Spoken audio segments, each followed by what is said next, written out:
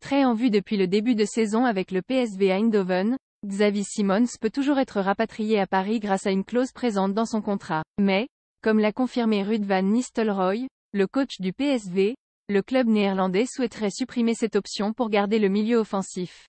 Convaincant depuis son arrivée au sein du PSV Eindhoven l'été dernier, Xavi Simons n'a pas totalement quitté le giron du PSG. Le club parisien dispose d'une clause de rachat sur le joueur l'été prochain évaluée à 12 millions d'euros, clause que club néerlandais souhaite désormais faire sauter pour récupérer pleinement son jeune talent. Plus grand que plus grand que toutes les informations et rumeurs mercato en direct nous sommes en pourparlers pour prolonger le contrat de Xavi Simons, nous le voyons comme un acteur clé dans la construction du PSV pour l'avenir, a déclaré l'entraîneur du PSV, Ruud van Nistelrooy, confirmant la volonté de son club de supprimer la clause de rachat du PSG.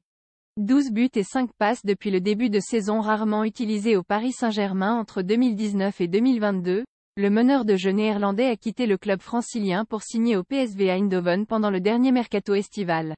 Un choix payant pour le joueur de 19 ans qui a enchaîné les matchs avec sa nouvelle équipe. Cette saison, il a disputé 29 rencontres toutes compétitions confondues avec le PSV, pour un total de 12 buts et 5 passes décisives. Passé par la Masia, le centre de formation du FC Barcelone, Xavi Simons avait rejoint le PSG en 2019, avec plusieurs apparitions, on, avec quelle équipe première.